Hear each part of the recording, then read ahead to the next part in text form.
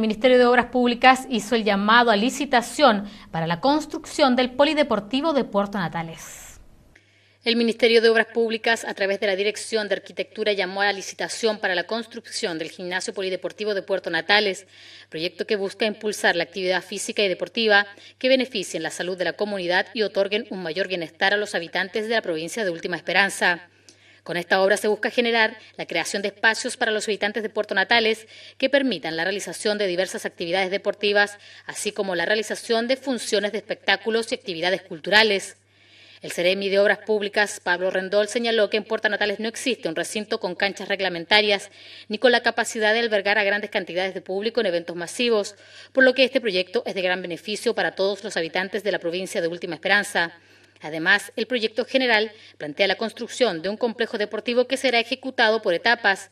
En esta primera fase se considerará el edificio de la multicancha.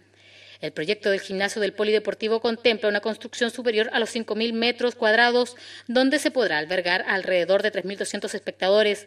Desde el punto de vista funcional, dijo también que la cancha puede usarse como una sola, con las gradas retráctiles extendidas o como dos canchas en el sentido transversal con las gradas recogidas. A ellos se suman camarines para los jugadores, árbitros y artistas, cafetería y servicios higiénicos para espectadores.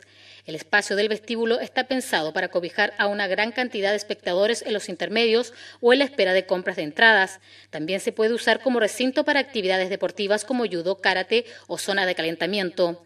La obra es financiada por medio del FNDR y cuenta con un presupuesto de 3.700 millones de pesos. Se informó que la apertura de las ofertas técnicas y económicas se realizará los días 21 y 28 de agosto respectivamente y la empresa que se adjudique el contrato contará con un plazo de 330 días para la ejecución.